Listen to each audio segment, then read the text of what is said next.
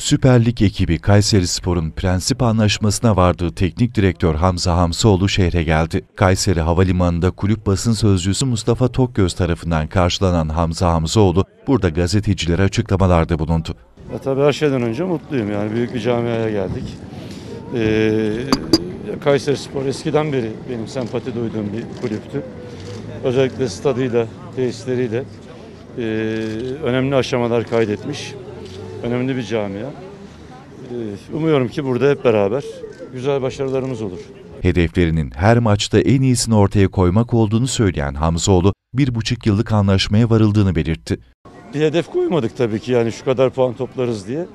Ee, hedefimiz her maçta en iyisini ortaya koyup en iyi futbolu, en iyi mücadeleyi ortaya koyup toplayabildiğimiz kadar e, fazla puan toplamak e, ve sezonu da iyi bir yerde bitirmek. E, çünkü bu sene eğer iyi bir yerlerde bitirebilirsek önümüzdeki yıl içinde e, planlamamızı ona göre daha rahat bir şekilde yaparız. Herhalde bir buçuk yıllık anlaşma sanırım. Bir buçuk yıllık anlaştık.